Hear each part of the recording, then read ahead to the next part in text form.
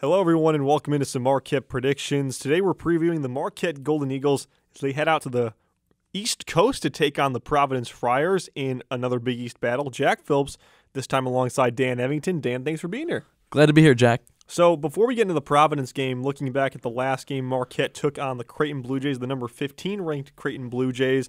Marquette obviously coming in at number 19. Marquette really couldn't get anything going. Their scoring was off. Howard only had 13. Anim led the way for the team with 18 points. Looking back at that game, what were your thoughts from that one? Well, Jack, going into it, I thought it was going to be a loss. Creighton's a really good team. Marcus Zegarowski's a good scorer. Ty-Shon Alexander is a great all-around player.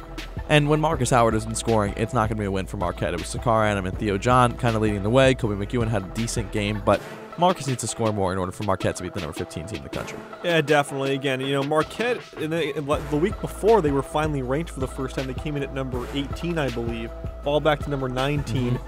Now they have a chance to try and protect that ranking against Providence today. Providence going in unranked, but remember last time Marquette played this team, it was in Fiserv on January 7th. Providence squeaked away with an 81 to 80 win, and Providence has beaten Seton Hall mm-hmm. before too. So anything could happen in this game. It's at the Dunkin' Donuts Center. What are your predictions for this one, and who's going to be your key impact player?